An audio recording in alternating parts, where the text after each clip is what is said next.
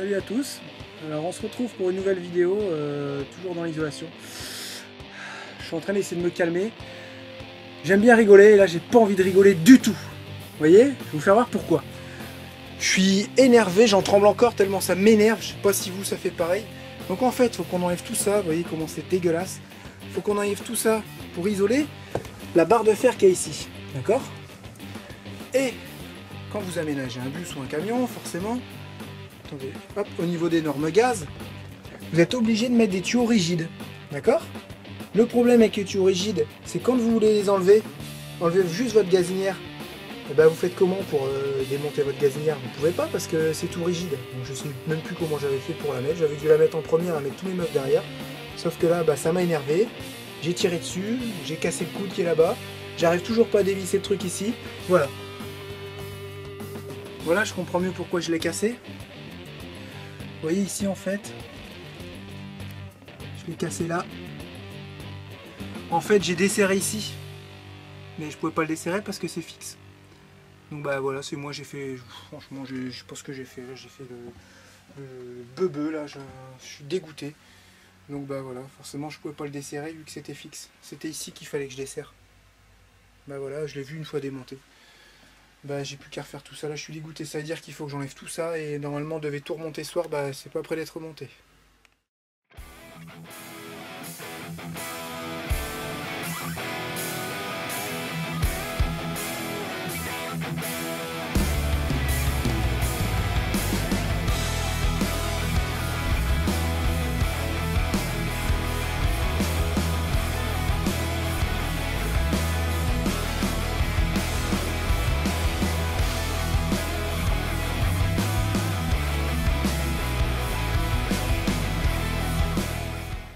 Vous faites des, aménagements comme ça, toujours pensez au démontage. J'y avais pas trop pensé. Et c'est bien prise de tête là du. Mais alors bien prise de tête. C'est quelque chose que j'avais pas envie de faire ça. Donc euh, du coup, euh, je suis pas motivé du tout. Et du coup ça m'énerve.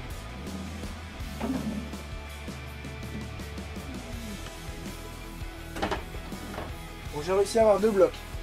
Il y a l'évier, je sais, je sais plus comment j'ai fait pour fixer. Si je force, je vais sûrement ca- casser un truc.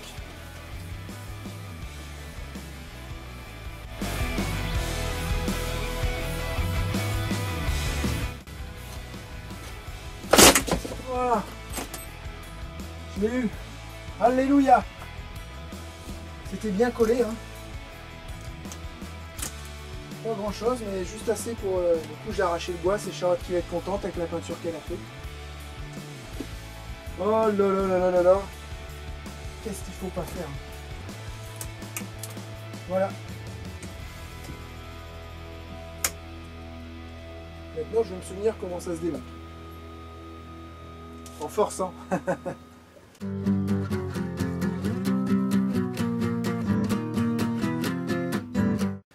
Qu'à démonter ma machine à laver.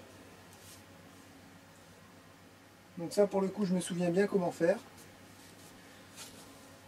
Pareil c'est qu'elle est pas légère.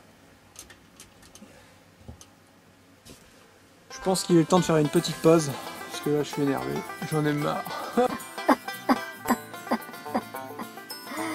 Pourquoi j'ai tout cassé encore une fois Je vous l'avais dit que je cassais souvent des trucs. Mais là, c'est encore arrivé. Vous voyez Je n'ai pas si parfait que ça en fait. Quand je me voyais, je me disais, ouais, Jérémy, c'est vrai que t'es parfait, je m'aime, tout ça. Mais en fait, non, je suis pas parfait. Et des fois, je fais des erreurs, des bêtises. Vous comprenez? Puis ça va se réparer. Hein? On va y arriver. On va garder le moral. On manger. Se calmer. Et après, ça va. Voilà, je vous reprends. À tout à l'heure.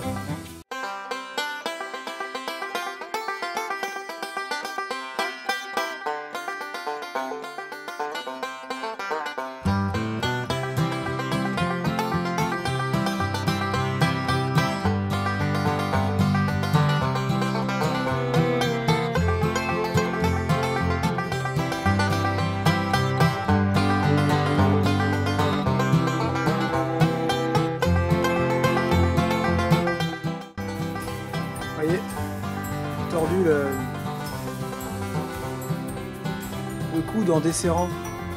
J'ai voulu desserrer ici, mais je me souvenais plus que bah, ici c'était fixe en fait. Euh, bah donc je l'ai cassé tout simplement, je l'ai vrillé sur lui-même. Il va falloir trouver une solution pour réparer ça au mieux. Voilà. Voilà, merci malin. Bon bah on a démonté le tuyau, enfin j'ai démonté le tuyau comme vous avez vu là et Charlotte est partie dans un magasin de bricolage euh, où ils font des soudures euh, normalement. Elle devrait réussir à réparer ça. Bon bah ça y est, nous sommes arrivés au magasin. J'ai été voir le patron du magasin et, euh, et du coup c'est bon, il peut nous ressouder le petit coude. Donc bah c'est top, hein C'est bon, Jérémy va être moins stressé et on va pouvoir refaire ça nickel. Voilà, à tout à l'heure. Bon bah ça y est, c'est réparé. Il nous a ressoudé le petit coude là. Donc euh, c'est bon. Allez hop, on se remet en route. C'est parti. Hey. Je suis en train de me calmer. Est-ce que vous avez déjà vu un bus en bordel? Je baisse la musique, droit d'auteur oblige. Alors, est-ce que vous avez déjà vu un bus en bordel total? Regardez, je vous montre. Voilà, ça c'est notre canapé. Notre épicerie. Un des meubles. Encore un meuble ici. Regardez, vue d'ensemble. On peut plus mettre un pied devant l'autre, c'est affreux. Euh, je vais vous faire voir euh, ce que je vous ai déjà expliqué sur euh, les précédentes vidéos.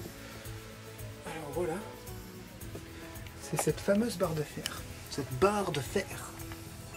Voilà, c'est cette barre de fer qui nous a posé souci en hiver dans les Pyrénées. Vous voyez, c'est directement en liaison avec la carrosserie extérieure.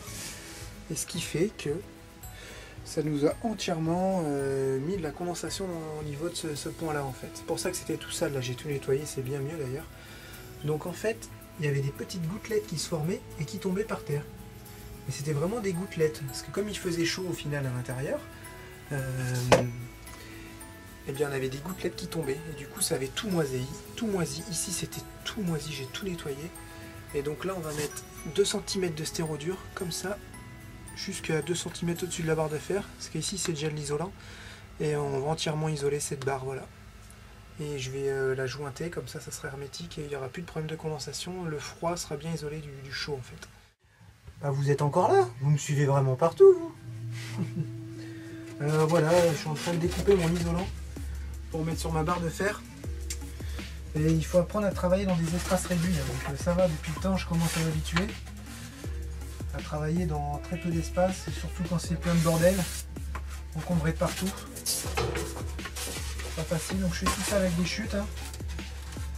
J'aime bien réutiliser les, restes. C'est pour ça que j'ai les boules euh, que Charlotte euh, elle soit partie faire. euh, Oh. J'ai les boules que Charlotte soit partie refaire, euh, refaire faire une soudure. Ça va encore nous coûter de l'argent. C'est chiant, on aurait pu s'en passer quoi. Pourquoi j'ai été dévissé la partie qui était fixe du tuyau moi aussi Pourquoi Ça, je ne sais pas. Sais pas, c'est comme ça. Bon bah là je découpe mon isolant. Bon l'avantage du stérodure, l'avantage du c'est que ça se travaille super bien. Ça se travaille super bien. Pour couper ça au cutter. C'est super super super bien isolant. C'est le matériel, euh, le matériau par excellence d'isolation dans les, dans les véhicules aménagés. Et puis de toute façon, avec camping-car, les panneaux sandwich, bah, c'est un peu ça qui est à l'intérieur. C'est un peu ça, vous voyez. Je me fais tous mes petits morceaux. Vous voyez, ça se travaille vraiment super bien, c'est léger. C'est ça qui est bien. À niveau, niveau écologie, c'est pas, pas super top, mais bon. On peut pas tout avoir. hein. À un moment donné, il faut faire un choix aussi avec le budget. Donc vous voyez, je vais venir coller plein de petites lamelles comme ça. Voilà. Avec un joint silicone partout. Et euh, ça va me permettre bah, d'avoir une isolation. On l'a fait déjà euh, de l'autre côté du bus. Ça fonctionne super bien. On a fait ça dans les chambres aussi. On avait des points, des ponts thermiques. Et vous voyez ce que ça donne. Ça va donner tout ça. Je vais tout coller jusque là-bas, jusqu'au bout. Et euh, j'espère que Charlotte va arriver avec une bonne nouvelle, qu'elle aura réussi à faire souder le, tuyau pour qu'on puisse tout remonter, pour qu'on soit tranquille pour ce soir.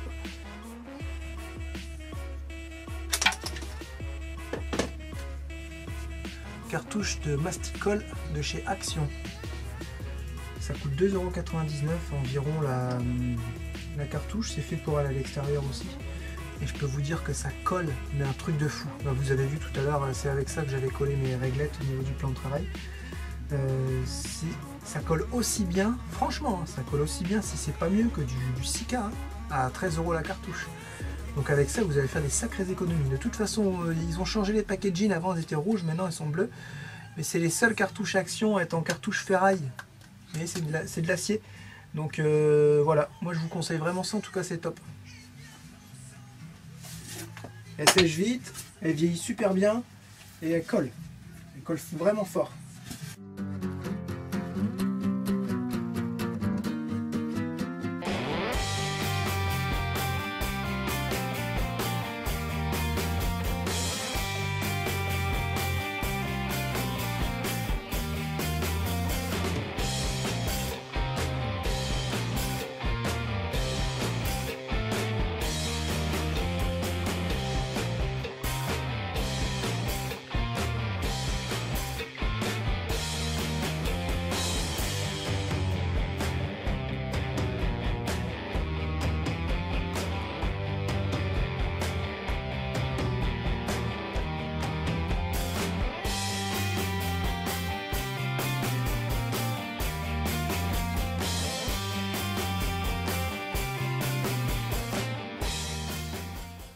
Je vous présente un outil pour lisser les, pour lisser les joints. C'est vachement utile.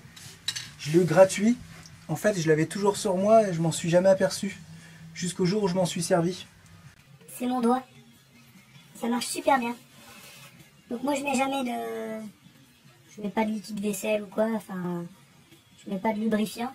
Parce que le lubrifiant, cela dit, le lubrifiant, pour lisser les joints, ça marche super bien. On a un lubrifiant, euh, vous savez, un lubrifiant, euh, vous voyez bien de quoi je veux parler. vous voyez? Euh, Bon, là j'en ai pas. Mais je fais ça avec mon doigt, en fait. Ou alors, moi je le fais à sec. Sinon, vous pouvez le faire comme ça. Vous venez lisser votre joint. ok? Mais moi, je le fais à sec. Ça me dérange pas. Je fais ça avec un seul doigt.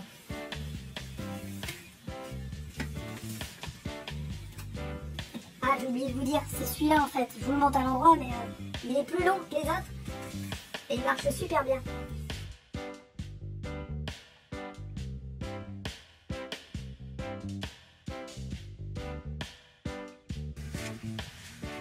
Vous voyez, comme ça, j'ai vraiment la partie métal qui va être isolée.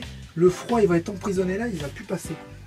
Et là-bas, il y a un petit trou carré. Je sais pas si vous voyez, je vais mettre un petit ventilateur de 24 volts. C'est mon système de VFC. Je vais mettre à l'extérieur. J'aurai un variateur pour la partie de devant et un variateur pour la partie de derrière.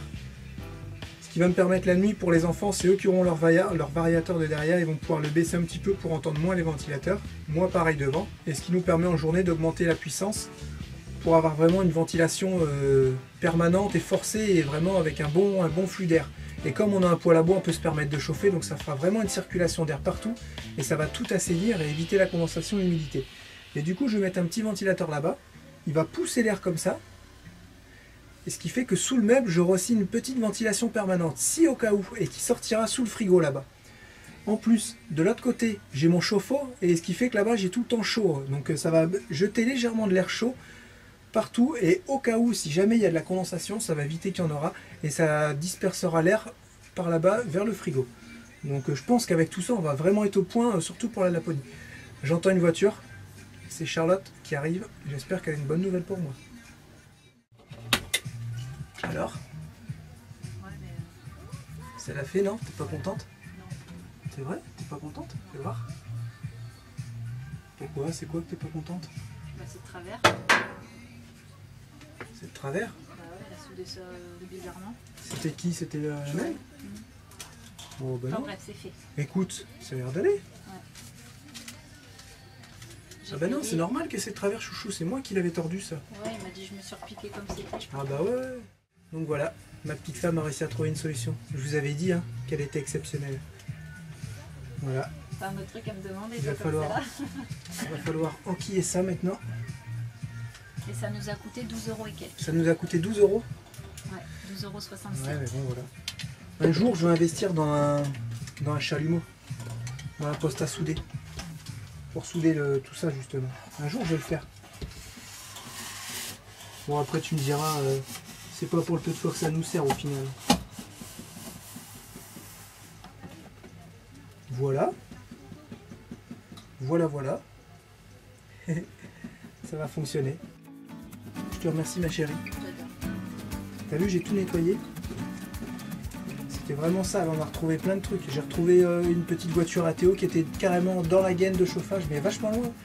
Ils avaient dû la pousser comme ça dedans. Oui, il l'avait dit. Il l'avait dit. Avait été loin. Julia, je crois qu'il J'ai retrouvé des fudge, j'ai retrouvé des morceaux de saucisses.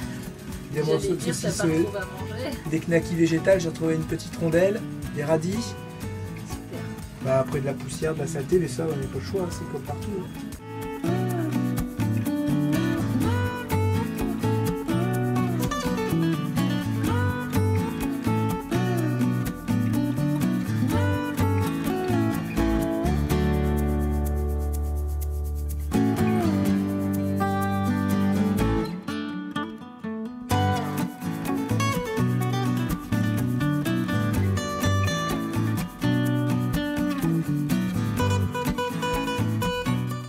Voilà. Eh bien, c'est très bien. Tout ça, ça commence tout doucement à se terminer.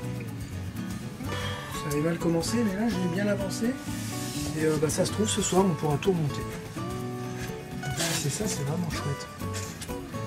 Être vraiment top. C'est ça, que m'a bien pris la tête. Ah, il faut pas croire, tout n'est pas tout rose. hein. Tout n'est pas tout rose. hein. Il y a des fois, on pète des câbles. Mais moi, il faut dire que je suis un ancien euh, hyper actif, énervé, euh, tout ce que vous voulez. J'ai souvent eu euh, énormément de mal à garder mon calme. Et bah là, j'arrive hein, tout doucement. Et à force, bah, on, pense, ça s'agit, mais on s'adoucit finalement. Puis les enfants, ça nous apporte énormément, ça nous apaise un peu au final. Même si des fois, ils nous énervent, ils nous apaisent quand même. Et on apprend à se contrôler, on apprend à plein de choses avec les enfants. Donc bah, c'est chouette. Je me sens bien parce que je sais que c'est quasiment fini. Charlotte, elle a réparé le tuyau. Je me sens mieux, mais c'est pas facile. Des fois, euh, je pèterai encore des câbles. C'était un moi. Voilà, impeccable. Vous voyez, j'ai passé une cartouche, de- cartouche mastic. Quoi. Quand c'est des cartouches à 3 euros, ça va. Mais quand c'est des cartouches à 13 euros, bah, vous réfléchissez plutôt à deux fois.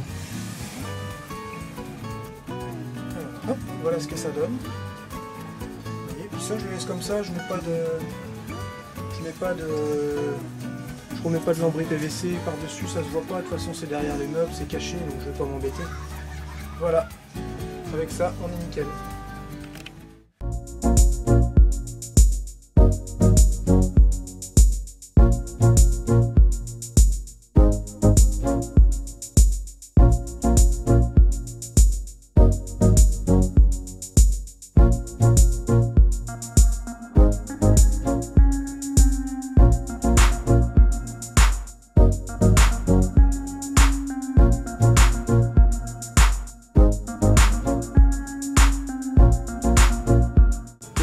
Pour fixer une machine à laver euh, bah, dans un habitat mobile.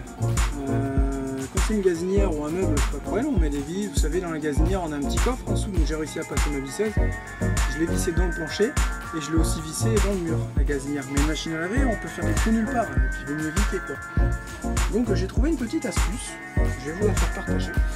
Hop, j'ai mis un petit tasseau, vous voyez et en fait, ce, tasseau, il est assez large. Et fait les deux gros trous de la taille des pieds de la machine à laver. Donc les pieds sont là-bas à l'intérieur, avec deux trous. Comme ça, j'ai mis la plaquette en dessous. Elle est bloquée, elle ne peut plus bouger. Et ensuite, je vais lui mettre des vis. Voilà. Et après, comme je, suis, après, comme je viens mettre le plan de travail par-dessus, il faudrait que la machine elle arrive à sauter pour pouvoir se décaler. Vu que ça fait une machine à laver, une fois qu'elle est posée, elle bouge plus. Voilà, c'est une petite bride en fait que j'ai fait. Si ça peut servir.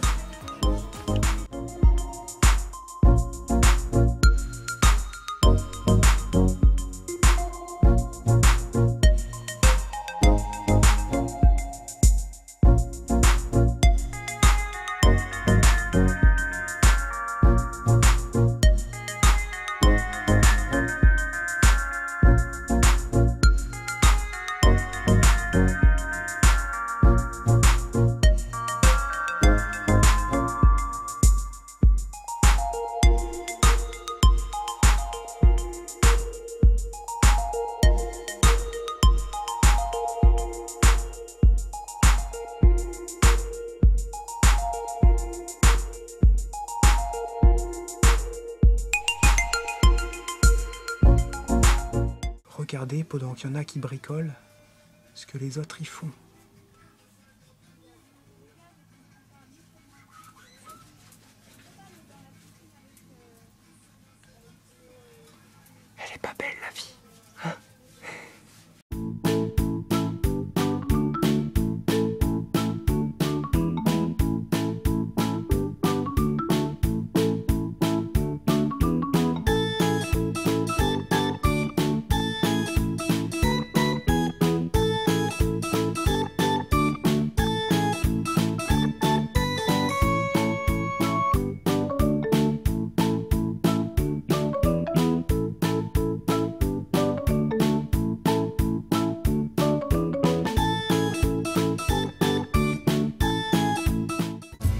Et euh, du coup, on avait un petit souci, vous savez, il y a un petit bac ici sur les moteurs de frigo euh, qui servent à récupérer le liquide à l'intérieur du frigo de, de condensation et puis après ça évapore euh, avec la chaleur du moteur. Mais nous, quand on roulait, eh ben, ça débordait des fois et ça mettait plein de saleté ici. C'était tout noir, tout liquide, enfin, c'était vraiment sale. Donc j'ai fait une évacuation directe. J'ai mis un petit tuyau, voilà, ça c'est une petite astuce pour les frigos de maison. J'ai mis un petit tuyau. Ici, je me suis fait un passe-tuyau, on va dire. Comme ça, j'ai plus qu'à glisser mon tuyau dedans.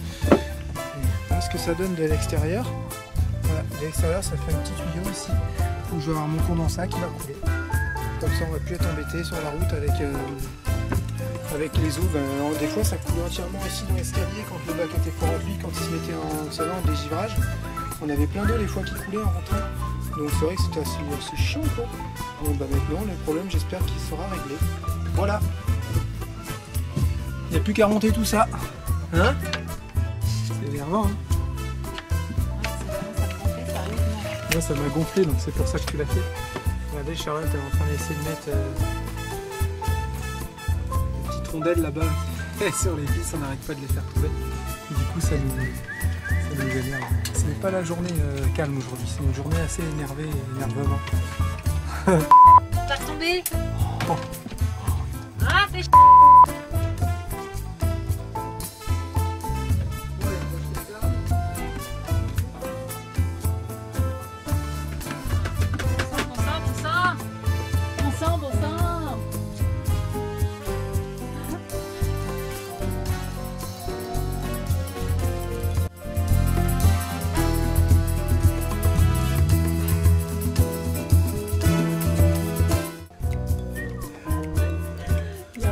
Vous fasse voir.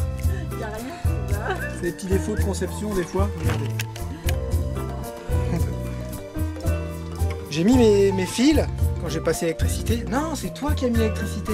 Ah, regardez, Charlotte a mis son électricité. Elle a mis ça en plein là où j'ai mis mon équerre. Voilà. Alors on fait comment pour faire ça maintenant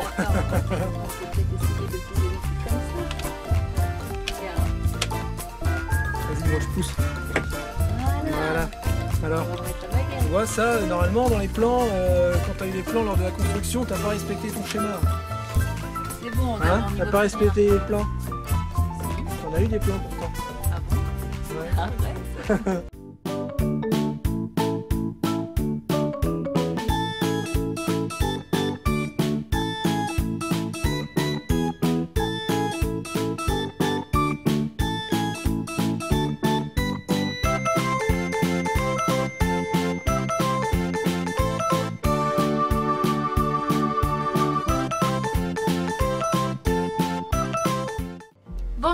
y est, ça se termine. C'est bah, fini d'ailleurs. Donc on en a profité, comme on vous a dit, de tout enlever, de tout risoler la petite barre de fer, comme Jérém a pu vous montrer dans la vidéo. La barre de fer. Euh, ouais, cette fameuse barre de fer, le tuyau du frigo, parce que quand on a enlevé le frigo, c'était juste une catastrophe. Et au final, euh, voilà, tout est fait. Tout est nickel. Normalement, on est paré pour cet hiver. Et je ne suis pas tout nu. On va encore dire oui, euh, il fait ses vidéos à poil. Bah non, je suis en torse nu parce qu'il fait euh, 31 degrés. Ouais, il fait juste trop chaud. Et il fait 35 dehors. Donc euh, au final, on est bien. Et euh, du coup, euh, donc voilà, bah, la vidéo elle se termine. Elle était longue là. Ouais, elle est très Vous avez longue. vu, on a fait du boulot. Ouais, on n'a pas chômé, hein, on a vraiment euh, fait tout nickel. Bah, surtout Jérém, hein, j'avoue, a beaucoup travaillé. Et, Comme euh, d'habitude. hein, voilà. Non, tu m'as bien aidé quand même. T'as été refaire reçu des tuyaux, tout ça, c'était bien. là. Ouais. Ouais, non, non. Esprit d'équipe. Voilà, c'est. Donc, euh, donc voilà, tout est réparé, tout est nickel. euh, on n'a plus grand chose à faire, on va dire, pour cet hiver. Isoler le coffre Ouais, et ça, ça va le pas petit bout de tuyau qui avait gelé euh, dans les Pyrénées. Ouais, ça, ça va être C'est quasiment tout. Donc voilà, bah, n'hésitez pas à mettre des petits j'aime, des petits commentaires comme d'habitude. Parlez-en autour de vous, Ouais. tous vos amis, toute votre famille, tout, tout le monde. Que tout le monde vienne s'abonner, mettre des j'aime, tout ça. Pour qu'on devienne les plus grandes stars de l'internet. Enfin voilà quoi, n'hésitez pas à en parler autour de vous. N'empêche que j'ai filmé des paparazzi en train de nous filmer. Eh si N'importe quoi. Si je te le dis que c'était pour nous. Mais non. J'ai vu paparazzi, euh, c'est le même hélicoptère qui, qui faisait le paparazzi avec Michael Jackson avant qu'il meure. Merci, je te jure, je te jure. Je vais vous faire voir les vidéos, vous allez voir. Bah en fait, euh, on comprend pas trop pourquoi il y a des, pourquoi il y a un hélicoptère qui a survolé euh, les champs qui sont autour de nous. Ils nous ont vraiment rasé, c'était Si vous avez une explication rationnelle, à part la mienne, qui apparemment n'est pas rationnelle, Non, je crois Bah pas. non, bah si, ça se pourrait tout à fait. Donc moi je suis sûr qu'ils étaient venus nous espionner parce qu'on est bientôt des stars. Et euh, donc voilà. Non, mais là, c'est la fatigue en Mais fait. non mais je pense qu'ils prenaient, en, un je câble, pense qu'ils prenaient en je photo les champs en fait. commence à être perché là. Je pense qu'ils prenaient en photo les champs. Alors pourquoi Si vous Ouais, avez je une pense. explication, j'aimerais bien savoir. Moi je sais, hein, mais bon. Apparemment je ne suis pas compris dans ce monde. Voilà. Enfin bref, À bientôt. on vous fait de gros bisous. là ça va encore être long. visionnage et à bientôt pour de Je nouvelles la, aventures. je vous mets la vidéo, vous allez voir de Papa Woody. Gros bisous à tous. Bisous, ciao. Ciao Bye bye Bye bye